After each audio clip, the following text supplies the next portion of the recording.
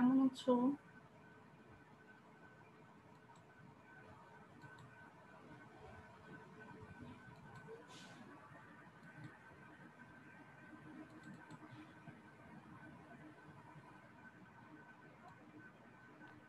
আসসালামাইকুম ওয়ালাইকুম আসসালাম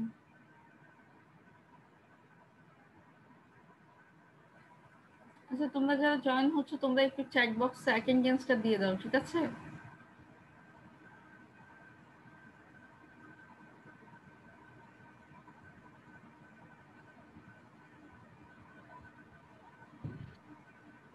মিস আসসালামু আলাইকুম যারা জয়েন হয়েছো তারা চ্যাট বক্সে অ্যাটেন্ডেন্সটা দিয়ে দাও।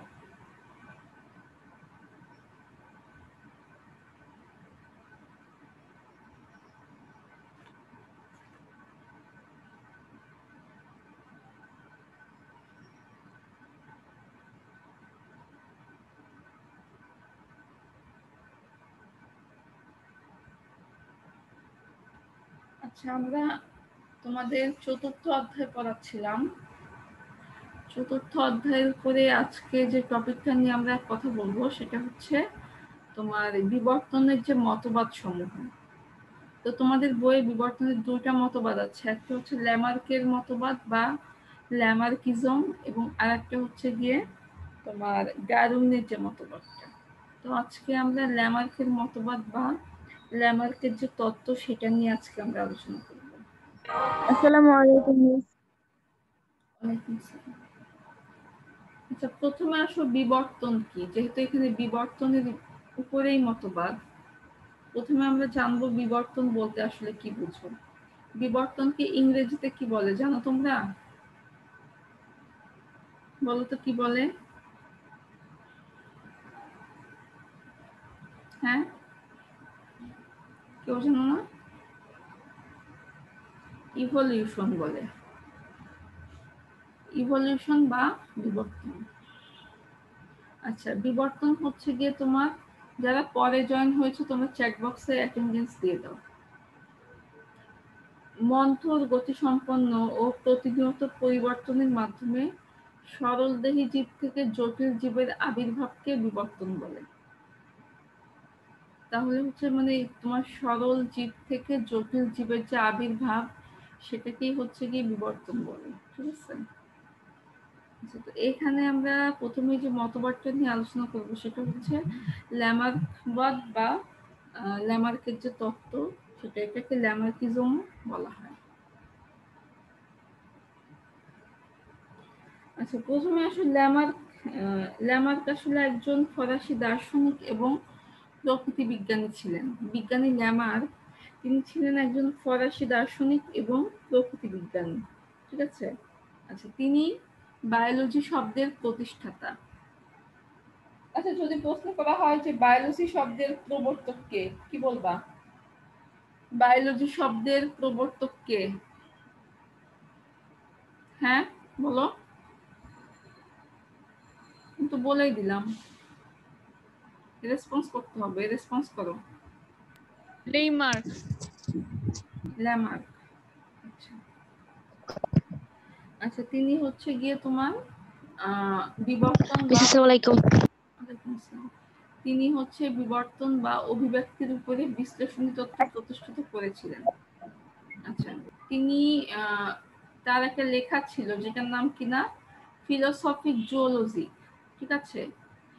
ফিলোসফিক জুওলজিক বইতে তিনি আঠারোশো নয় খ্রিস্টাব্দে তার এই লেখাটা তুলে ধরেছিলেন।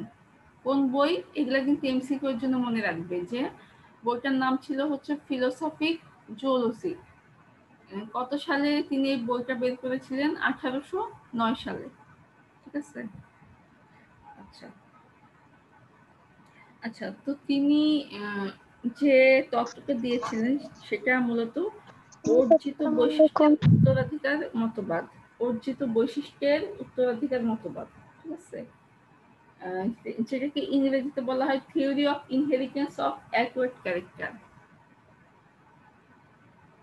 আচ্ছা, যে কথাগুলো বইয়ে নাই আমি বলছি এগুলো মনে রাখবা। আহ, ল্যামার ল্যামার্কিজম যেটা তিনি মতবাদটি খ্যাত। এই মতবাদটি হচ্ছে অর্জিত বৈশিষ্ট্যের উত্তরাধিকার, ঠিক আছে? অর্জিত বৈশিষ্ট্যের উত্তরাধিকার মতবাদ যেটাকে ইংরেজিতে বলা হচ্ছে theory of inheritance of acquired characters ঠিক আছে? আচ্ছা তো এখানে হচ্ছে গিয়ে কয়েকটা পয়েন্টের উপরে আলোচনা করা হয়েছে। কয়েকটা পয়েন্ট বা কয়েকটা টপিক আচ্ছা প্রথমে আসো। প্রথমে যে বিষয়টা, এক নম্বরে যেটা, সেটা হচ্ছে ব্যবহার এবং অব্যবহার সূত্র। ব্যবহার এবং অব্যবহার সূত্র। এইখানে হচ্ছে ক্রমাগত ব্যবহারের ফলে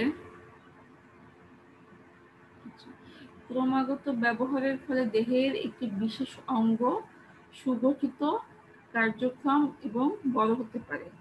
আবার অব্যবহারে অঙ্গটি ক্রমশ ক্ষুদ্র হয়ে বিলুপ্ত হয়ে যায়। মানে ব্যবহার এবং অব্যবহার সূত্রের মেইন কথা হচ্ছে যখন ক্রমাগত ব্যবহারের ফলে দেহের একটি বিশেষ অঙ্গ যদি দেহের একটি বিশেষ অঙ্গকে ব্যবহার করা হয়, তখন সেটা কি হবে? সুগঠিত হবে, কার্যক্ষম হবে এবং বড় হতে পারে। কিন্তু ওই অঙ্গকে যদি আমরা ব্যবহার না করি মানে অব্যবহৃত থেকে যায়, তখন কি হবে? অঙ্গটি ক্রমশ ক্ষুদ্র হয়ে একটা পর্যায়ে গিয়ে বিলুপ্ত হয়ে যায়। ঠিক আছে? এখানে কি বলছে? দেখো, লামার্কের মতে জীবের প্রয়োজনে জীবদেহে কোনো নতুন অঙ্গের উৎপত্তি অথবা কোনো পুরনো অঙ্গের অবলুপ্তি ঘটতে পারে। তার মতে, যদি কোনো জীবের কোনো অঙ্গ ধারাবাহিকভাবে ক্রমাগত ব্যবহৃত হয়, তবে সেই অঙ্গ পরিবেশের প্রয়োজনীয়তার জন্য ধীরে ধীরে সবল ও সংগঠিত, সুগঠিত হয়। মানে সেই কথাটাই বলছে, দেখো, যে কোনো একটি অঙ্গ যদি ব্যবহার হয়, ধারাবাহিকভাবে সেই অঙ্গটা কাজে লাগানো হয় বা ইউজ হয়, তখন কি হবে? সেই অঙ্গ পরিবেশের প্রয়োজনীয়তার জন্য ধীরে ধীরে সবল হয়ে ওঠে এবং সুগঠিত হবে। কিন্তু যদি ওই অঙ্গের ব্যবহার যদি কোনো ব্যবহার করা না হয়, তখন কি হবে? অঙ্গটি ক্রমশ নিষ্ক্রিয় অঙ্গে পরিণত হবে। একটা নিষ্ক্রিয় অঙ্গে মানে যেহেতু ওই অঙ্গের কোনো কাজ করা হচ্ছে না, সেহেতু কি হবে? অঙ্গটা একটি নিষ্ক্রিয় অঙ্গে পরিণত হবে এবং অবশেষে একটা সময় গিয়ে অবলুপ্ত হয়ে যাবে। একটা সময় গিয়ে সেটা বিলুপ্ত হয়ে যাবে। ঠিক আছে? আচ্ছা তো আমি এইটা, এই বিষয়টা একটা উদাহরণের সাহায্যে তোমাদের একটু বোঝানোর চেষ্টা করি। উদাহরণটা হচ্ছে এরকম, ধরো ধরো হচ্ছে গিয়ে যদি ব্যবহার হয়, কোনো একটা অঙ্গের যদি ব্যবহার হয়, তখন কি হবে? তখন জিরাফের কথাই চিন্তা করো। জিরাফ, জিরাফের আদি পুরুষের গলা এবং সামনের পা এখনকার ঘোড়ার মতো খাটো ছিল। এটা আমি ব্যবহারের কথাটা বলছি। একটা উদাহরণের সাহায্যে বলছি। জিরাফের আদি পুরুষ যারা ছিল, আদি পুরুষের গলা এবং সামনের পা কেমন ছিল? এখনকার যে ঘোড়া, সেই ঘোড়ার মতো খাটো এবং তোমার খাটো ছিল, যার ফলে এরা কি করত? ঘাস এবং ছোট গাছপালা খেয়ে জীবন ধারণ করত। যেহেতু আগের যে পূর্বপুরুষ বা আদি পুরুষ, তারা এত লম্বা গলা সম্পন্ন ছিল না ঠিক আছে? কে কীরকম ছিল? এখনকার যে ঘোড়া দেখি আমরা সেই ঘোড়ার মতো ছিল। সো তারা কীভাবে খেত? যেহেতু খাটো ছিল সো মানে ঘাস ছোট ছোট যে গাছের লতা পাতা সেগুলো জিরাফ দেখেছ তোমরা?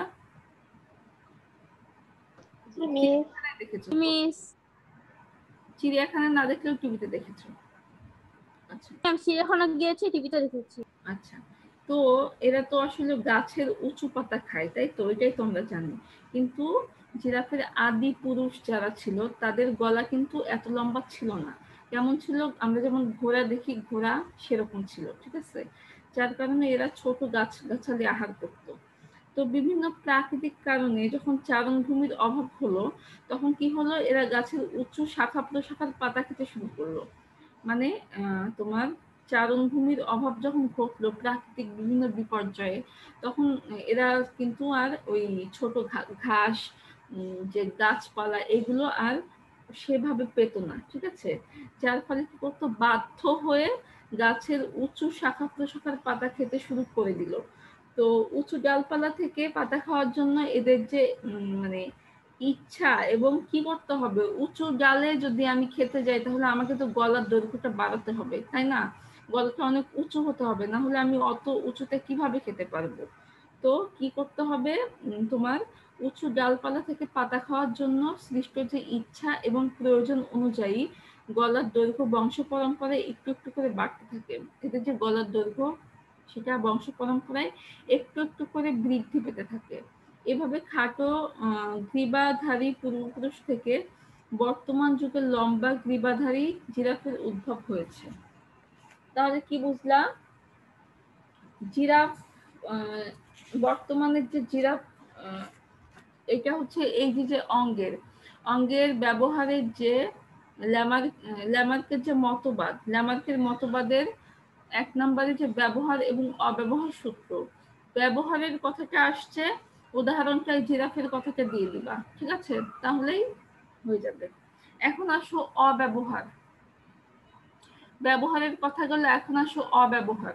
অব্যবহারের যে উদাহরণটা দিতে পারো, এখানে হচ্ছে উট পাখির কথাটা বলা যেতে পারে। উট পাখি, উট পাখির পূর্ব যে পুরুষেরা, এরা আগে উঠতে পারতো। এরা কিন্তু একটা সময় উঠতে পারতো। কিন্তু এদের যে ডানা দুটি, এরা হচ্ছে ক্রমাগত অব্যবহারের ফলে ধীরে ধীরে নিষ্ক্রিয় অঙ্গে পরিণত হয়েছে। তাহলে অব্যবহারে কিসের কথা বলবা বলো বলো কিসের কথা বললাম আমি এখন। প্রশ্নটা আবার? প্রশ্নটা কি? আমি জাস্ট এখানে প্রশ্ন তো করছি না আমি জাস্ট তোমাদেরকে বোঝাচ্ছি যে ব্যবহারের কথা যখন বলবে কোনো অঙ্গের তখন হচ্ছে জিরাফের কথাটা বললেই হবে আমি যে উদাহরণটা দিলাম। আর যেটা অব্যবহার সূত্র সেক্ষেত্রে কি বললাম? উট পাখি। উট পাখির পূর্বপুরুষ যারা ছিল তারা হচ্ছে আগে উঠতে পারতো। কিন্তু ওদের জানা দুটি ক্রমাগত অব্যবহারের ফলে ধীরে ধীরে একটি নিষ্ক্রিয় অঙ্গে পরিণত হয়েছে। আচ্ছা উট পাখি কি উঠতে পারে? এটা আগে বলো. উট পাখি কি উঠতে পারে?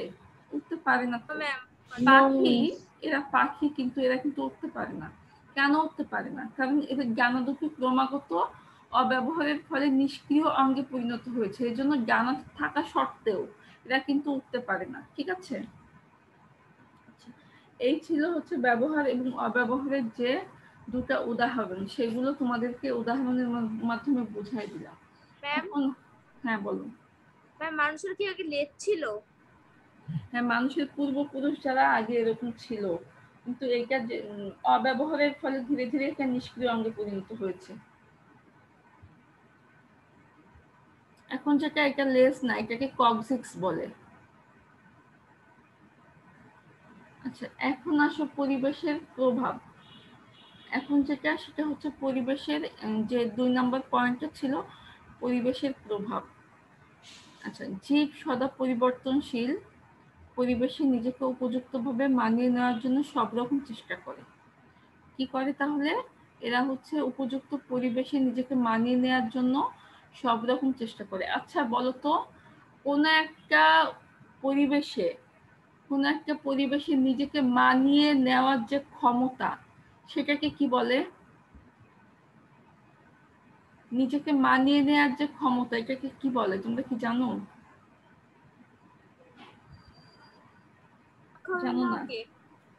আচ্ছা, কোনো একটা পরিবেশে নিজেকে মানিয়ে নেওয়ার যে ক্ষমতা এটাকে বলা হচ্ছে অভিযোজন। নাম শুনেছো মনে হয়। অভিযোজন বলে এটাকে ঠিক আছে? শুনেছিলাম। আচ্ছা। আচ্ছা তাহলে এখানে যে পরিবেশের প্রভাবে কি বলছে যে জীব সদা পরিবর্তনশীল? পরিবেশে নিজেকে উপযুক্তভাবে মানিয়ে নেওয়ার জন্য সব সময় চেষ্টা করে। সব সময় চেষ্টা করে একটি জীবের একটি সহজাত প্রবৃত্তি। তো স্বাভাবিকভাবে পরিবর্তনশীল পরিবেশে নিজেকে এই যে আমি একটু আগে অভিযোজনের কথা বললাম স্বাভাবিকভাবে পরিবর্তনশীল পরিবেশে নিজেকে অভিযোজিত করতে জীবদেহে নানা রকম পরিবর্তন দেখা দেয়। ঠিক আছে? তাহলে ল্যামার্কের মতে পরিবেশে পরিবর্তন ঘটলে জীবের স্বভাব এবং দৈহিক পরিবর্তন ঘটে। তো মানে পরিবেশে যদি কোনো পরিবর্তন ঘটে, স্বাভাবিকভাবেই জীবের স্বভাব এবং দৈহিক পরিবর্তনও ঘটে। এটি হচ্ছে জীবের একটি অর্জিত বৈশিষ্ট্য। এটি জীবের একটি অর্জিত বৈশিষ্ট্য।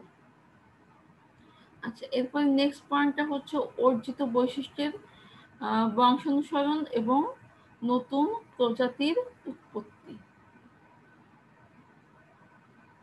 আচ্ছা তো এটা এটাই কি বলছে? এই পয়েন্টে কি বলছে দেখো?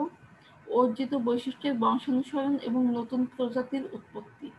ল্যামার্কের মতে কোনো জীবের জীবনকালে যে সকল বৈশিষ্ট্য অর্জিত হয় কোনো জীবের জীবনকালে যে সকল বৈশিষ্ট্য অর্জিত হয়, সেই সমস্ত বৈশিষ্ট্য এক প্রজন্ম থেকে অন্য প্রজন্মে সঞ্চারিত হয়। অর্থাৎ এই যে বৈশিষ্ট্যগুলো বংশানুক্রমে সঞ্চারিত হয়, অর্জিত বৈশিষ্ট্যের বংশানুসরণ ঘটে। আচ্ছা এই যে মানুষের বৈশিষ্ট্য, এক বৈশিষ্ট্য যে বংশানুক্রমে সঞ্চারিত হয়, কিসের মাধ্যমে হয় বলো তো ধরো তোমার বাবার বৈশিষ্ট্য তোমার মধ্যে এসেছে। কিসের মাধ্যমে আসছে এটা?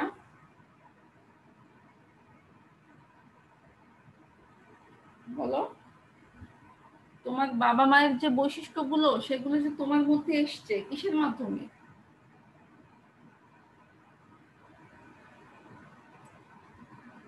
আইডিয়া নাই? কেউ বলতে পারছ না? জিনের নাম শোনো নাই?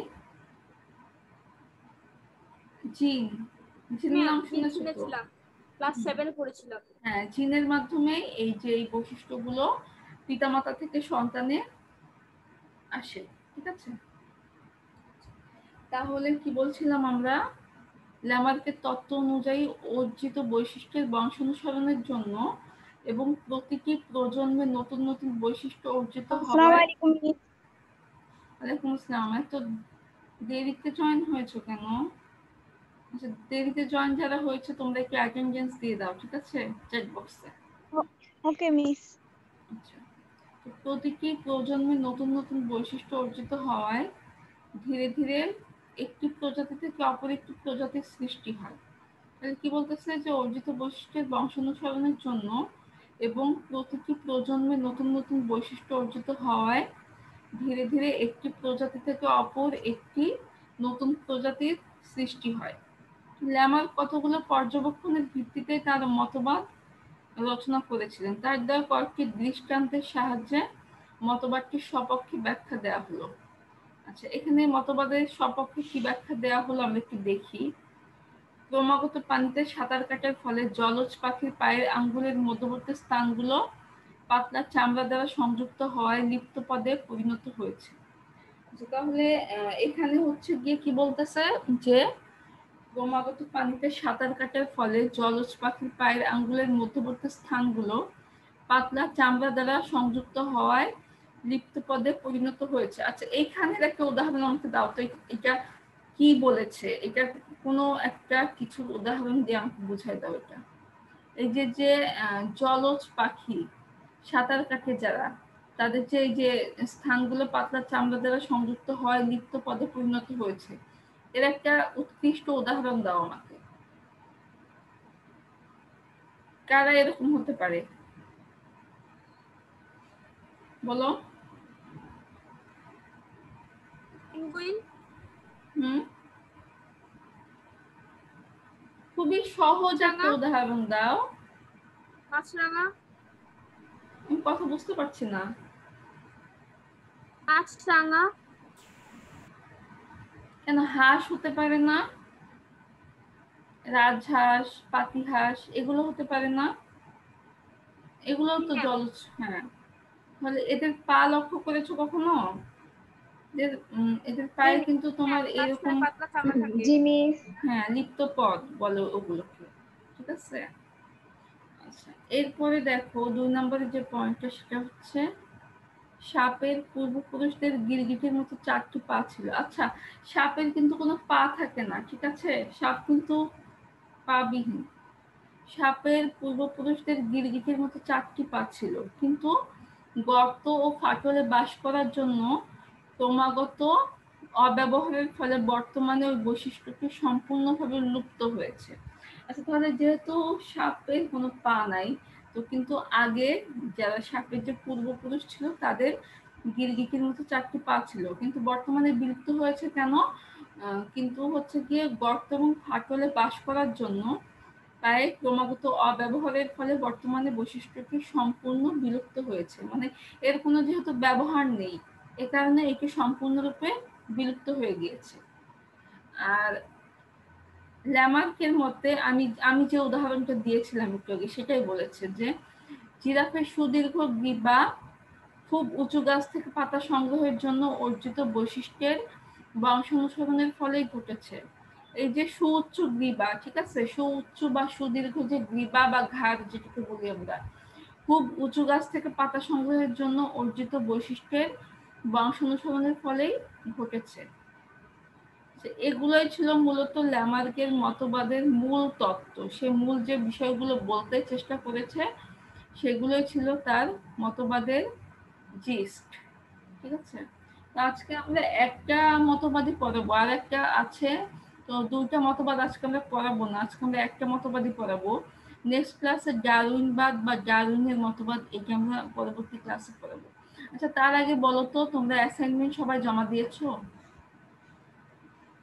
জি ম্যাম জি মিস সবাই কি আট নাম্বার অ্যাসাইনমেন্ট কয় নাম্বার তা তো জানি না তবে দেখলাম তো। কলেজে অনেকগুলোই জমা এই সাত নাম্বারটা দিয়েছি আট নাম্বারটা এখনও দেইনি দিব। মিস হ্যাঁ বলো। আমি মিস আমি ঢাকাতে নাই মানে গ্রামে আসছি তো এই জন্য আর কি আমার বাবা অসুস্থ তো আমি সপ্তম আর অষ্টম অ্যাসাইনমেন্ট গুলো জমা দিতে পারতেছি না। ক্লাস টিচারকে বলবে? আমি তো ক্লাস টিচার না।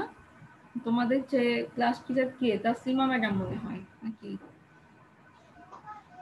মিস আমি মনিরুল ইসলাম স্যারের সাথে কথা বলছিলাম। স্যার বলছিল যে এটা পরে জমা দিলেও হবে। আমার রোল নম্বর নিল। মনিরুল স্যারকে বলেছ ভালো কথা। ক্লাস টিচারকে একটু জানিয়ে রেখো ঠিক আছে? তাহলে ভালো। ওকে আচ্ছা। আর যেটা যে তোমাদের তোমরা হচ্ছে গিয়ে রোল নাম্বার যেটা ইউজ করো হ্যাঁ রোলটা তো ক্লাস এইট এরটা ব্যবহার করছ না নাকি? নো মিস নাইনে তা- তো রোল দেওয়া মিস হয়েছে। নাইন এরটা। নো মিস নাইনে ও আমি তো ভেবেছিলাম দিয়েছিলাম। আমি ভেবেছিলাম মানে এইট এর রোল নাম্বারটাই তোমরা এখন ব্যবহার করছ। নাইনে তাহলে নতুন রোল দেওয়া হয়েছে না? আর হচ্ছে কি অ্যাসাইনমেন্টের যে কাভার পেজ হ্যাঁ? কাভার পেজটা কিন্তু যাবতীয় যে তথ্যগুলো সঠিকভাবে লিখবা। না হলে টিচার বুঝতে পারে না যে আসলে এটা কিসের অ্যাসাইনমেন্ট সবগুলো অ্যাসাইনমেন্টের পেজ উল্টায় উল্টায় দেখা কিন্তু সম্ভব না। এই কারণে তোমরা কাভার পেজটা সুন্দর করে যাবতীয় তথ্য দিবা। ঠিক আছে? যাতে করে বোঝা যায় যে হ্যাঁ এটা এই সাবজেক্টের অ্যাসাইনমেন্ট কথা ক্লিয়ার বুঝছ? জি মিস মিস আর এই যে লকডাউনের মধ্যে তো তোমরা বের হচ্ছ না। এর মধ্যে তো আর কলেজে গিয়ে দিবা না কিছু জমা দিবা কি?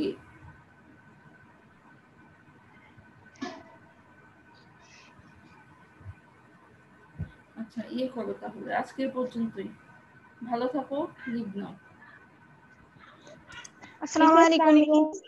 আসসালামু আলাইকুম। মিস আসসালামু আলাইকুম।